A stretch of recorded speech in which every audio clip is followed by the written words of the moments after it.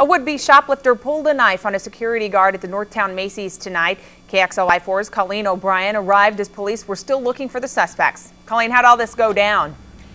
Well, Kalai, the robbery, the armed robbery happened so quickly that the Macy's employee I spoke to today had no idea it happened, but it did right outside these doors. This is the north entrance exit to the Macy's at Northtown Mall. And uh, what happened, an officer told me on scene, uh, the, the two suspects, a male and female, were pretending to shop. They pretended to, they left with those unpaid items, and a security guard went after them. That's when the male suspect punched the security guard in the face.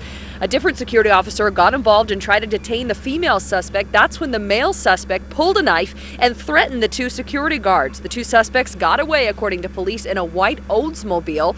Macy's does have clear surveillance of the armed robbery, and uh, police have gotten a hold of that, and they think they might release it to us tomorrow. Now, here are the descriptions of the suspects. The man was white, about 40 years old, with long brown hair and glasses. He stood about six feet tall and was wearing black pleather jacket and black jeans. The female suspect was white with dark brown hair. She was about 35 to 40 years old, stood about five feet tall, and she was wearing a white jacket and shirt. Again, uh, police were out looking for these suspects all night. No word on if they've caught them, but they're driving around in a white Oldsmobile. Live in North Spokane, Colleen O'Brien, KXLY4 HD News.